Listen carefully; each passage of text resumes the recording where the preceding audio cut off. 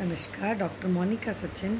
Today, who inspired the most successful entrepreneur that impact India for with their business? So I can say one of the entrepreneur I know nowadays it is Saurabh Bhatnagar.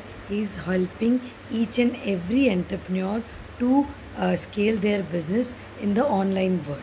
So I think he is also a successful entrepreneur that gives me more positivity, more energy, and more uh, more credential and more contribution to the country to produce many social marketers, many positive, uh, many positive entrepreneurs.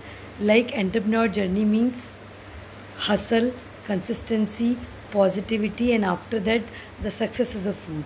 So he's motivating each and every person to give them uh, entrepreneur seed to them and to nurture them in each and every aspect, like in hand holding, like in uh, the planning, execution, and how they scale their business.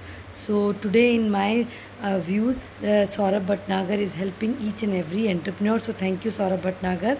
Thank you for all your uh, help, help your mentorship and positive attitude. Thank you, thank you so much, and each and every entrepreneur, all the best to your journey.